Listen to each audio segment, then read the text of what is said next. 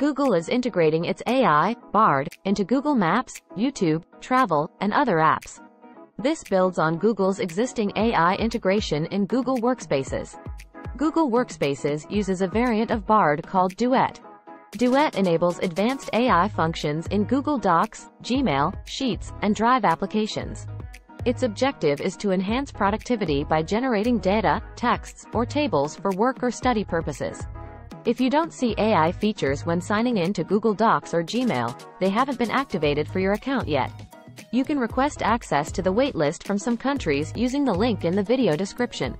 With the new personalized extensions of Google Bard, users will receive customized recommendations for videos, flights, or maps.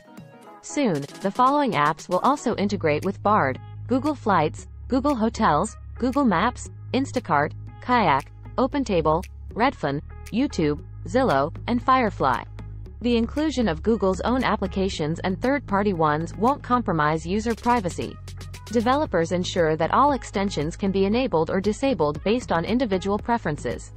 This personalization feature ensures Bard only uses relevant and interesting information for each user. The integration of these applications turns Bard into a multimedia content generation center with diverse sources of information. Google Bard aims to be a helpful tool that goes beyond creating texts, answers, or recommendations. Thanks for watching. Please consider subscribing to support independent news.